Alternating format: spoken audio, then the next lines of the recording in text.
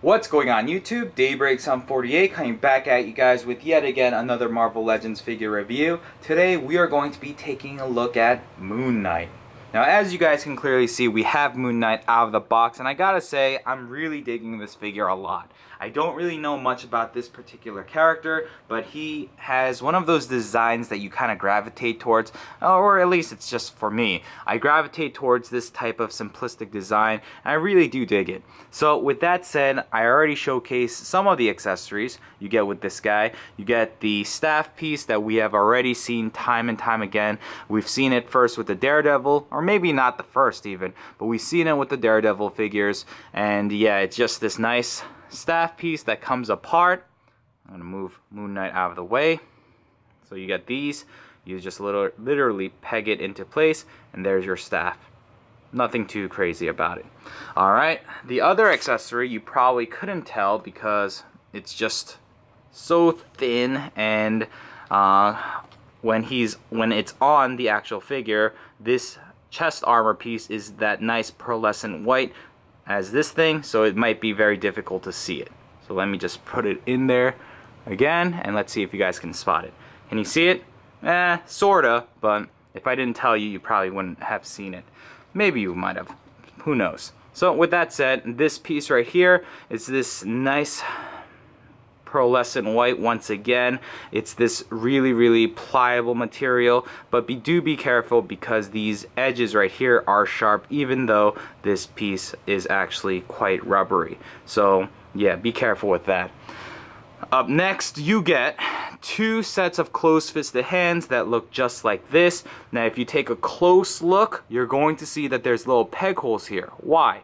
Well, it's because you get three of these uh, I don't know what these are to be honest. Uh, these little boomerang things or whatever Moon Knight's weapons are, you get three of these. And it looks like this. It's tiny, tiny, tiny. Uh, it's the, once again, pliable material that we've seen when it comes to the bigger one. It's just scaled down.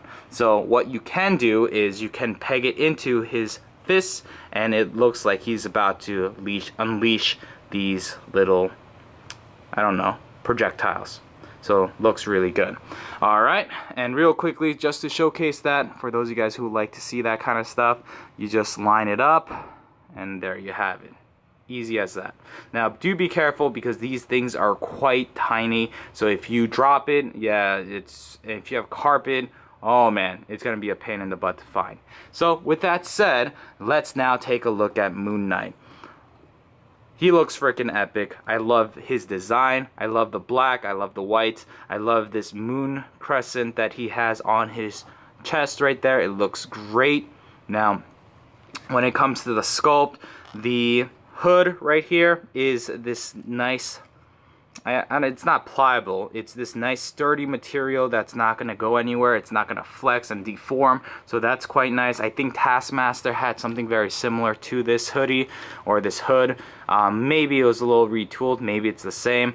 But yeah, it looks good. I love the face. The mask has all those wrinkles to make it look like there's an actual face behind it. I love the pearlescent whites that they used for the eyes.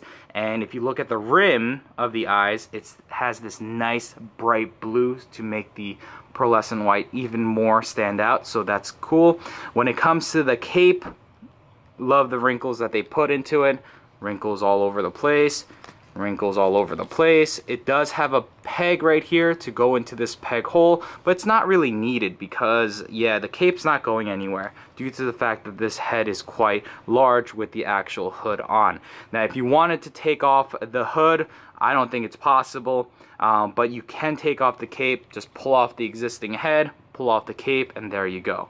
It's gonna look a little weird because he has a hood but nothing, no cape, but whatever. Now when it comes to his upper diaphragm, these two pieces are actually glued onto place, but be careful, I was not careful with my figure and I was just moving around the joints to see what uh, posability he had and the glue literally snapped off as you guys can clearly see. So that's that. When it comes to just shading, uh, I can't really say there's that much shading. It's just this nice pearlescent white with this glossy black paint. or plastic, whatever it may be. But love the little detailing on his forearms, his fists, or his hands right here. Even the sides, these look great. All of this looks fantastic. When it comes to articulation, head can go full 360, can look up, which is quite nice, can look down, which is nice. The arms, it's kind of limited because once again, this shoulder padding it's gonna get in the way and as you guys clearly saw it just came off again it can full rotate 360 uh, bicep swivel is there double jointed elbows is there full rotation in the wrist and the hinge is there when it comes to the diaphragm you have that nice ab crunch waist joint right here. Be careful because these are, or not taped, but glued in place on the lower half. So if you move this a lot and it kind of hits this piece right here, it can definitely pull off the actual glue. The legs can go out that far, thigh swivel, double jointed knees. The feet can go out that far, down that far and beautiful ankle rocker so there you guys have it guys this is my review of Moon Knight. And I gotta say, if you can find this one in the wild, I highly recommend it, especially if you're a Moon Knight fan. If you're a just a Marvel Legends fan, this is a definitely this is definitely a nice piece to have in your collection because it just looks nice. So if you are in if you're looking for it and want to pick it up, then I highly, highly recommend you do so. And with that said, guys, this is Daybreak 748. And I am signing out. Peace out, guys.